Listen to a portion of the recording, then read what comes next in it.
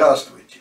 Продолжаю свой рассказ об утопии, которая, как я обещал, потом постепенно превращается в антиутопию. И, как всегда, доска, видите, на доске надо что-то изобразить, пускай это будет пока Атлантида, которую смывает страшной волной. От утопии до антиутопии. Ну, в прошлый раз, в прошлом ролике я начал рассказ о Фрэнсисе Бэконе. И сказал, что вот в следующем, в этом ролике, речь пойдет о его произведении «Новая Атлантида». И вот, э, натыкаясь на это название, даже еще не успев прочитать, что он там написал, сразу возникает несколько вопросов. А почему, собственно, Атлантида? Когда Платон все это только начинал, что тоже условно, поскольку, как вы понимаете, далеко не все рукописи дошли до нас, и поэтому судить с полной уверенностью, что вот до Платона никто ничего подобного не делал, сложно. Но так или иначе, надо же с чего-то начинать, от чего-то отталкиваться.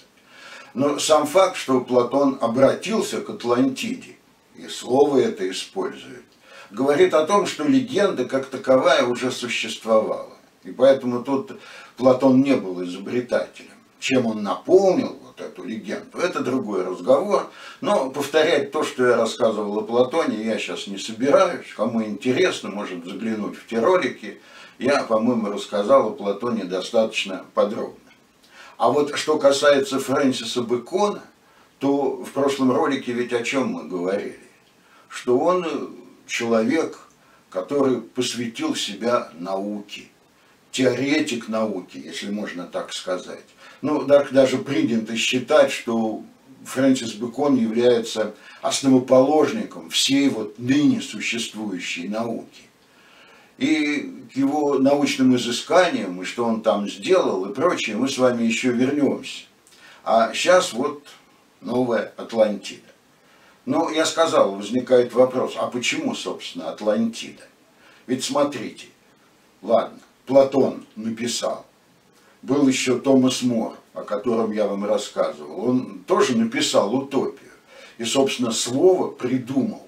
Утопия. Но так получилось, что за этим словом закрепилось вот некое понятие, что утопия – это нечто нереальное. Это, это фантазия какая-то. А вот что касается Атлантиды, то здесь вроде бы какая-то реальность все-таки присутствует. Ну да, давно там утонуло, там тысячи лет назад, но тем не менее было что-то такое. И, несомненно, в сознании Фрэнсиса Бэкона это как-то отложилось. Ну, тут можно еще привлечь Компанеллу, он ведь тоже писал о идеальном государстве. Я думаю, что Фрэнсис Бэкон читал Компанеллу, во всяком случае знал о существовании такого человека, поскольку творили они примерно в одно и то же время. Но помните, я вам говорил об этом, что да, в тюрьме, в руках инквизиции все время пребывал Компанелло, тем не менее его труды выходили наружу. И, собственно, даже отчасти поэтому папа его и выпустил из тюрьмы, потому что, ну как, ну вся Европа уже говорит об этом человеке, а он вот томится там в застенках. Ну и про Кампанеллу не буду вам тут ничего повторять, потому что тоже, на мой взгляд, достаточно подробно рассказал о нем. А вот снова обращаюсь к Фрэнсису Бэкону. Итак, новая Атлантида. То есть, видите, с одной стороны он берет слово Атлантида, которое нас отсылает к легенде. С другой стороны, новая. То есть это не та вот Атлантида, которая когда-то утонула и которой больше нет, а, очевидно, где-то сейчас существующая. Ну, несколько слов, собственно, о самой книге. Это даже книгой трудно назвать, это достаточно небольшой труд. По сути, там сколько-то страниц, 20, 30, в зависимости от издания. И закончить его не успел Фрэнсис Бэкон. Кто читал «Новую Атлантиду», то заметил, что идет-идет повествование, вдруг обрывается. Умер человек, не успел написать. И издана эта новая Атлантида была впервые в 1627 году, то есть уже после смерти Бекона. А вот что касается русскоязычного читателя, то он имел возможность на русском языке познакомиться с Новой Атлантидой только в 1962. Видите, как не спешили ее издавать. И само построение, вот как она написана. Я, когда говорил о Платоне, говорил о море, говорил о Компанелле, везде это были диалоги. То есть кто-то встречался с кем-то, кто-то кому-то рассказывал, что вот где-то был, там заплыл на какой-то остров, занесло его куда-то и, короче, вот увидел нечто. Быкон поступает иначе. Он сам себя как бы выводит на страницах своего повествования. Ну, начинается повествование с чего? Мы отплыли из Перу, где пробыли целый год, в южные моря направлении Китая и Японии. Ну, вы себе уже представляете, да, где находится Перу, это Латинская или Южная Америка, а Китай, Япония – это как бы другой берег, другой край Тихого океана. То есть э, переплыть такое, ну, прям скажем, не очень просто. И как путешественники запаслись там провизией и прочим, и прочим, а потом вот э, на море начинают происходить всякие неприятности.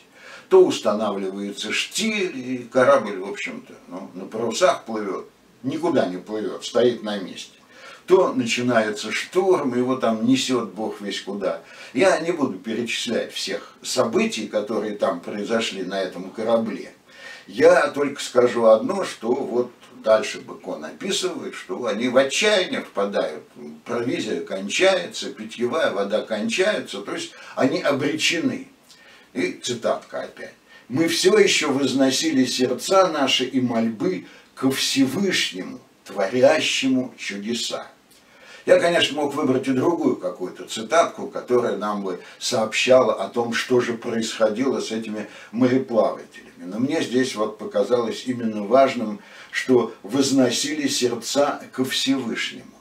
Дело в том, что Быкона будут потом называть и атеистом, и человеком, который вообще к религии никакого отношения не имел, и так далее, и так далее.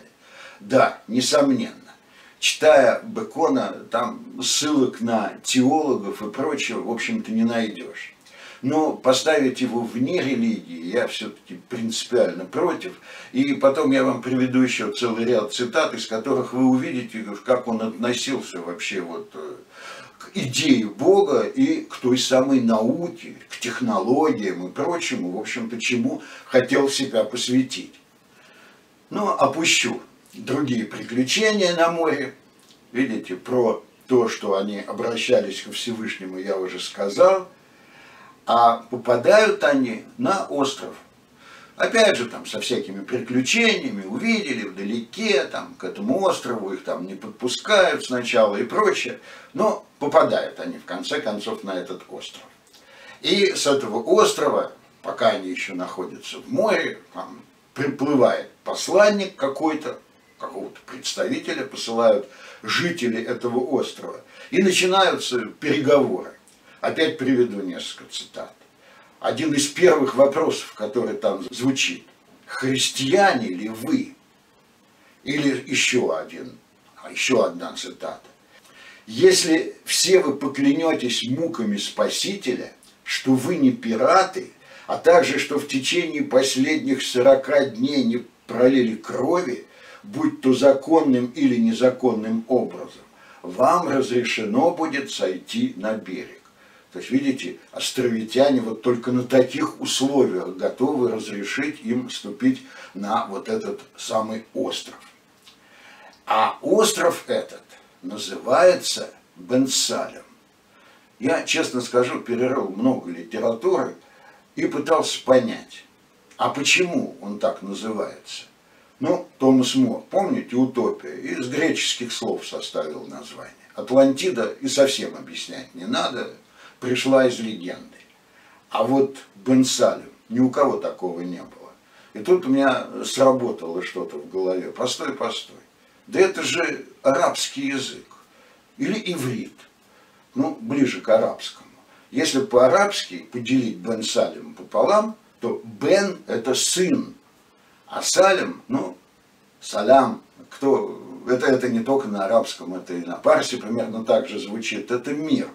Ну, если бы это было на иврите, то было бы Бен Шалом, шалом, мир. Причем мир надо понимать как, не как вот вселенная и прочее, а мир как дружба, любовь, вот в этом плане. Видите, в русском языке слово мир имеет два значения. А вот э, в арабском, иврите это разные слова. Так вот, оказывается, это остров мира. Вот как надо перевести. И Нигде я не натыкался на такое толкование, поэтому, видите, вам предлагаю его, а уж принимать или нет, как говорится, ваше дело. И вот когда им, наконец, этим путешественникам, и в том числе герою от первого лица идет повествование, но буду говорить, что Бекону, да, что разрешили им ступить на берег, то, опять цитата, «На всем нашем пути по обеим сторонам улицы собрался народ, и вели себя так вежливо, словно собрались не дивиться на нас, а приветствовать.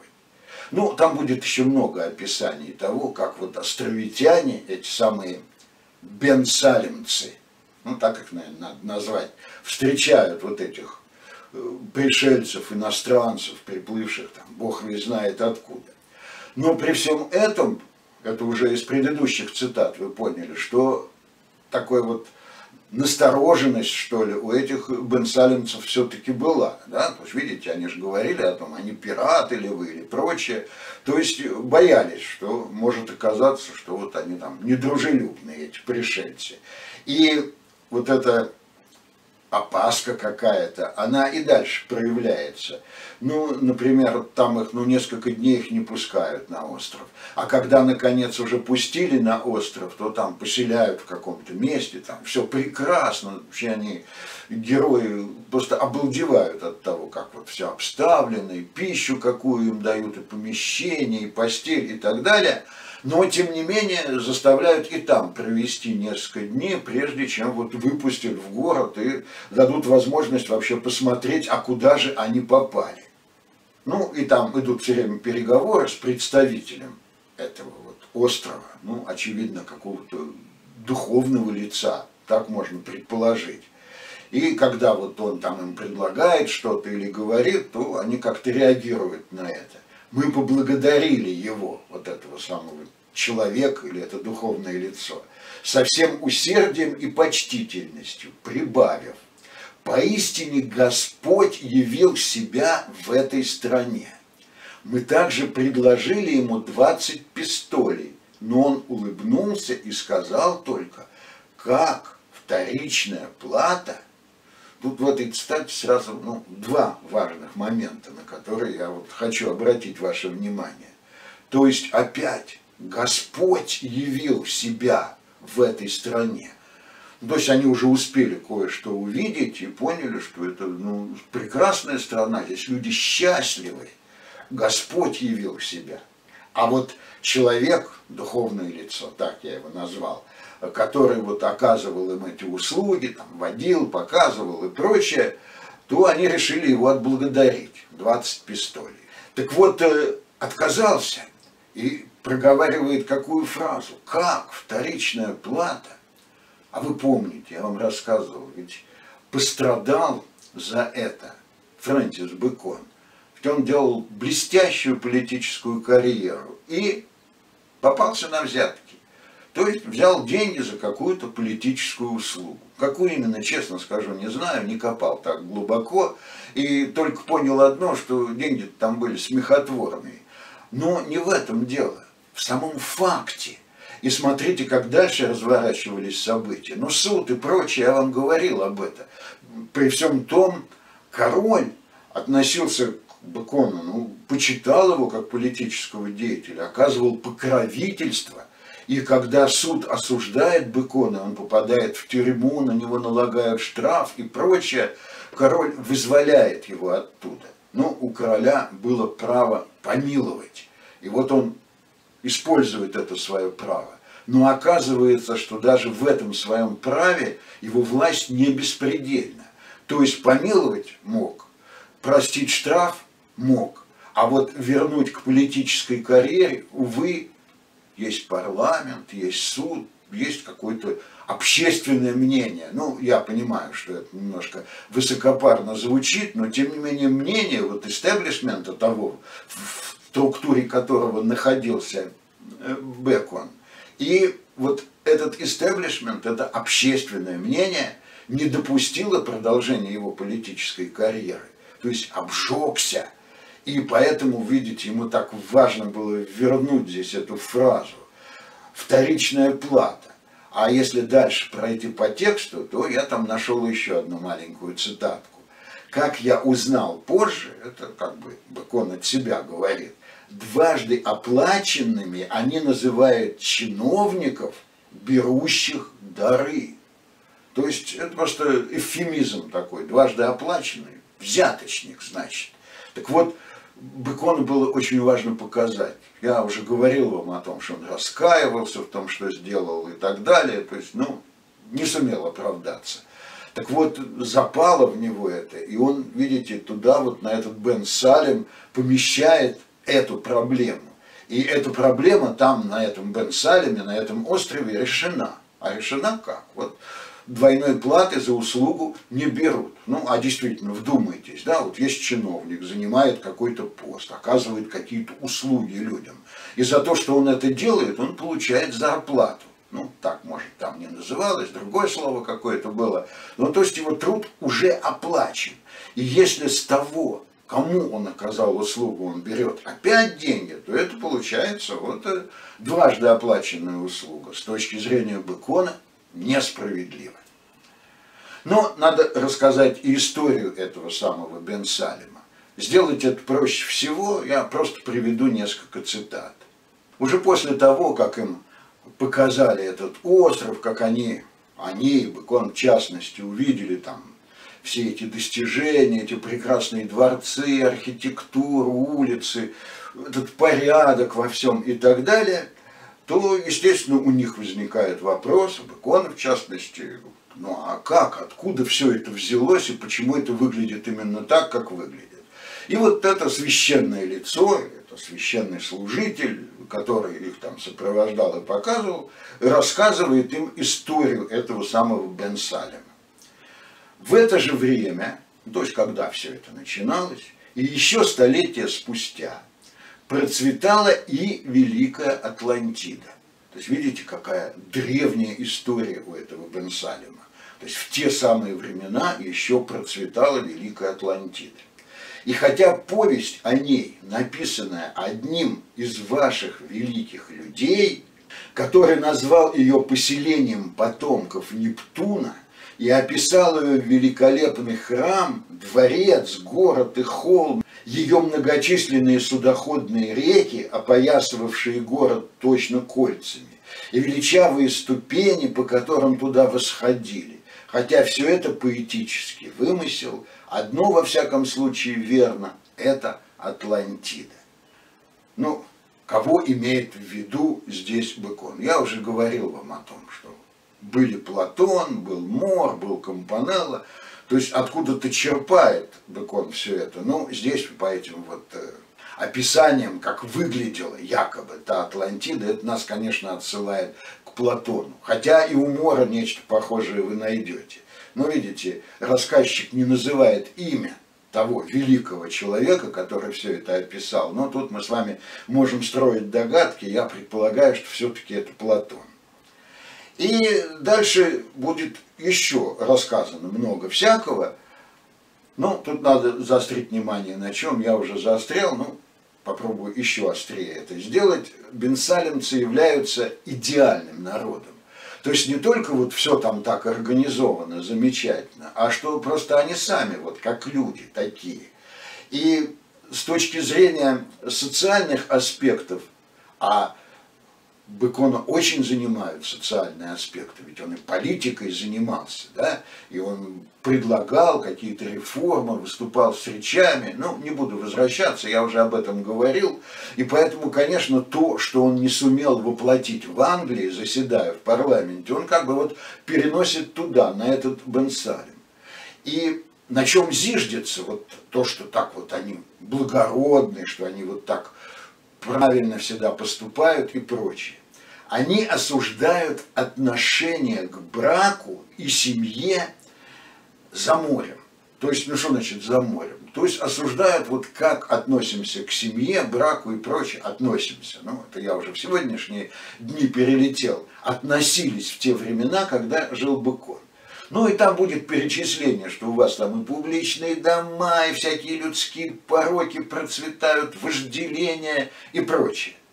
И по мнению вот этих самых Бен Салимцев, главное в браке, видите, тут Быкон обращается к семье, это уважение к супругу, а не удовлетворение животных инстинктов. И вот произнес фразу про животные инстинкты. Рассказывал я вам про Компанеллу. Видите, тут можно сказать, что с точки зрения психологической Компанелла оказался тоньше Бекона. Он, помните, разделял, да, с одной стороны брак, мужчина, женщина должны продолжать род, то есть производить на свет потомство.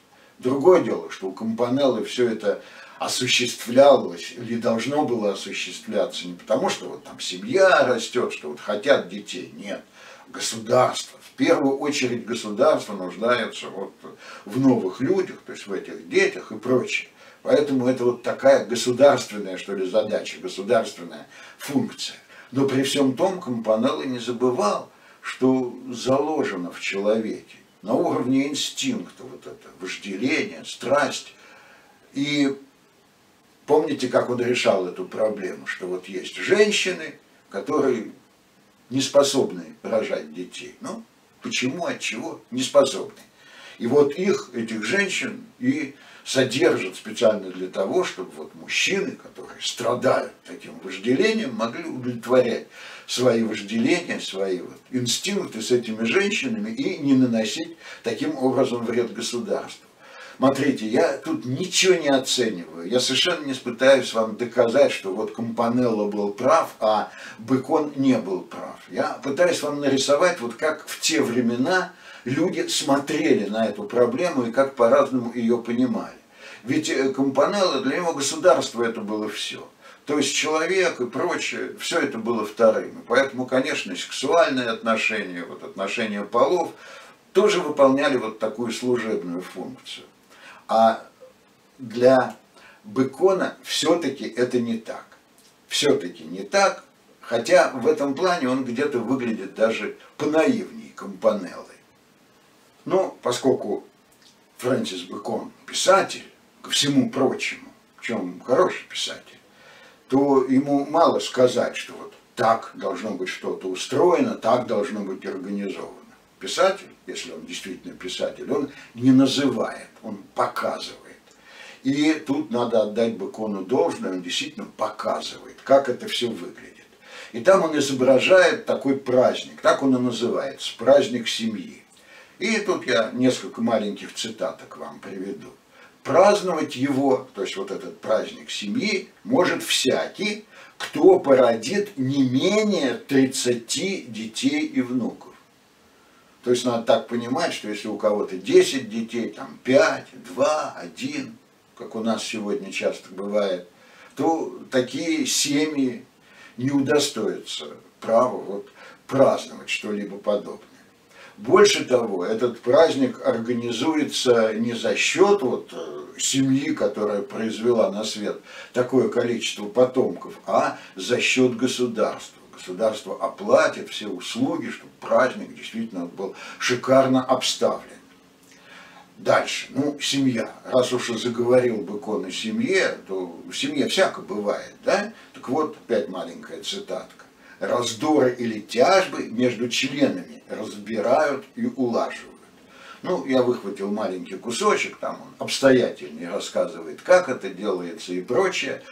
Мне просто было важно обратить внимание и свое, и ваше на то, что мимо Бекона это не прошло.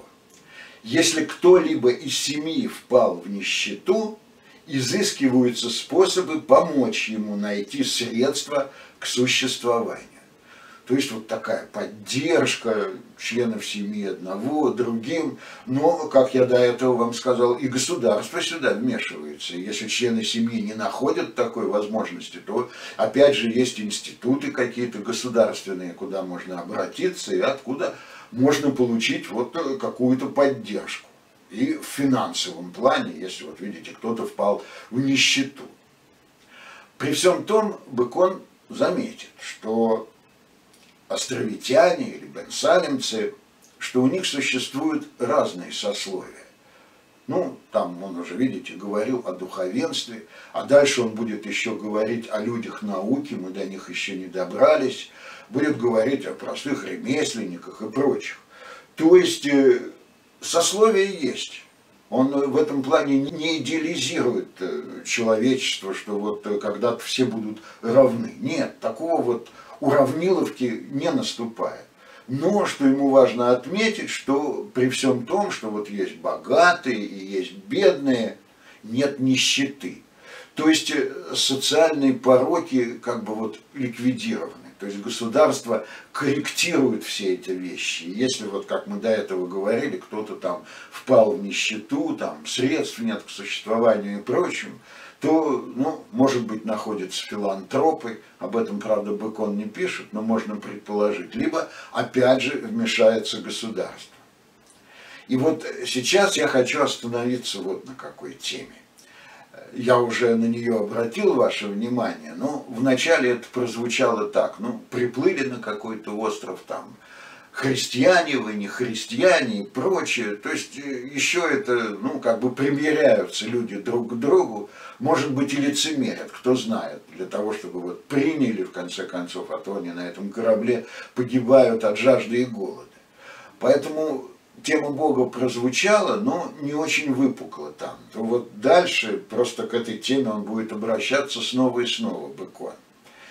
И будет рассуждать очень интересно, что успехи науки, а он все время апеллирует к этому, что счастье вот этих самых бенсалимцев и обусловлено успехами в науке, какими именно мы еще поговорим. Так вот, тем не менее, успехи науки, по мнению Бекона, касаются лишь вторичных причин, за которыми стоит, по его мнению, всемогущий и непознаваемый Бог. То есть э, это буквально прямым текстом. Я сейчас своими словами пересказываю, но так это звучит. Ну, а чтобы было уже не моими словами, то давайте опять приведу цитату. Это будет снова тот самый рассказ, вот как вообще возник этот э, остров, вернее, не сам остров, не его география, а вот те социальные метаморфозы, какие на нем произошли, вот история короче. Это опять я беру из рассказа вот, одного из служителей, священнослужителей. Спустя около 20 лет по воскресении Спасителя Ренфузы, ну, видите, в скобочках, это и у Бекона так, э, города на восточном побережье нашего острова, увидели однажды ночью большой столб света. Ну, скобочки и многоточие, просто я пропускаю куски, поскольку статуя очень большая. Большой столб света, появившийся на море в расстоянии около мили. Он имел форму колонны или цилиндра и подымался к небу на большую высоту. Вершину его увенчивал крест – сиявший более ярко, нежели самый столб. Столь необычайное зрелище привлекло горожан на берег моря. А там некоторые сели в лодки, чтобы еще более приблизиться к чудесному явлению. Случилось, что в одной из них находился мудрец из числа членов Соломонова дома. А это, добрые друзья мои, зеница ока нашей страны. Я тут дальше своими словами расскажу. Короче говоря, вот когда этот э, мудрец из Соломонова дома, а о Соломоновом доме будет разговор чуть позже, приблизился к этому столпу, то там, значит, ларец ему был передан на каком-то ковчежице таком он подплыл. И когда он раскрыл этот ларец, то там, ну, все было. Там было и священное писание и прочее.